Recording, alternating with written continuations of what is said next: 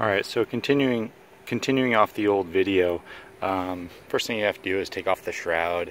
Uh, there's just screws around the, the perimeter here on both sides, one in the front, one in the back, and then down the side. Um, you can see here I just cleaned off that spot, spot there where the crack was, put some uh, white silicone on it. Uh, typically you know there there may be some leaks around here but that's pretty rare because that's that uh, foam seal between the two. Um, and that stuff typically doesn't uh, um, leak. Uh, it's always either the the drain for this little pan in here or it may be a crack like I had here. So uh, clean that out and that should take care of your leak on the inside